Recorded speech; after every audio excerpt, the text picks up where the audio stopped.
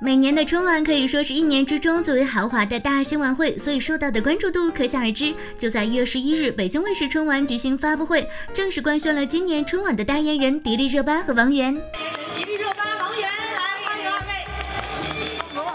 帅哥美女一出场就引发全场尖叫，大家纷纷拿出手中的手机相机一顿拍拍拍。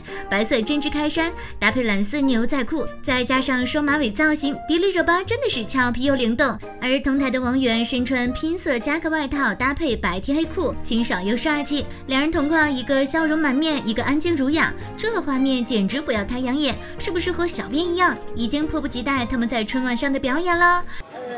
我今年会以一个跟以往不同的形式登上我们北京台的春晚。好，我今年是跟一位前辈带来一首非常好听、温暖、有力量的歌曲。当天，迪丽热巴和王源除了分享他们对北京卫视春晚的印象，还担任了新闻主播，做了美食。一起来看看主播迪丽热巴和主播王源的表现。各位观众，下午好，今天是二零二一年一月十一日，农历十一月二十八。这次北京台春晚在报道的主要内容有。寒潮来袭，今年冬天成为二十一世纪以来最冷的冬天。